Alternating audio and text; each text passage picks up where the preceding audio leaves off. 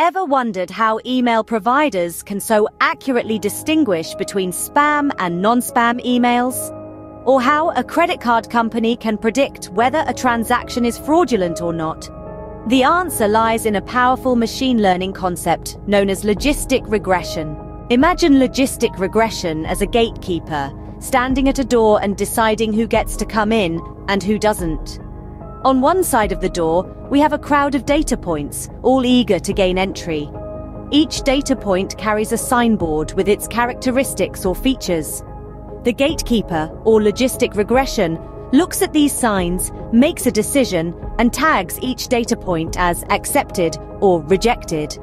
Now, this gatekeeper is not just randomly assigning tags, it's making calculated decisions based on a function, or in simpler terms, a set of rules that it follows.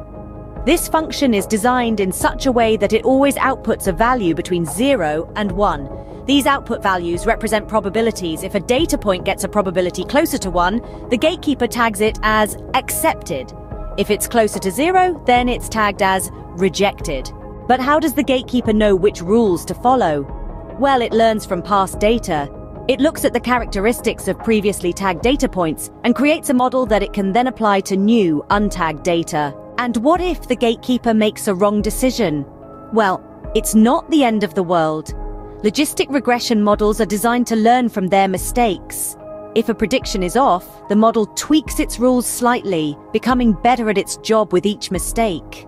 To summarize, logistic regression is a powerful tool in machine learning used for binary classification problems. It works by assigning probabilities to data points, tagging them as either accepted or rejected. It learns from past data and improves its predictive accuracy over time by learning from its mistakes. So the next time you marvel at the accuracy of your spam filter or a fraud detection system, remember the diligent gatekeeper behind it all, logistic regression. It's a simple yet fascinating concept, and understanding it is a significant step towards unraveling the intriguing world of machine learning.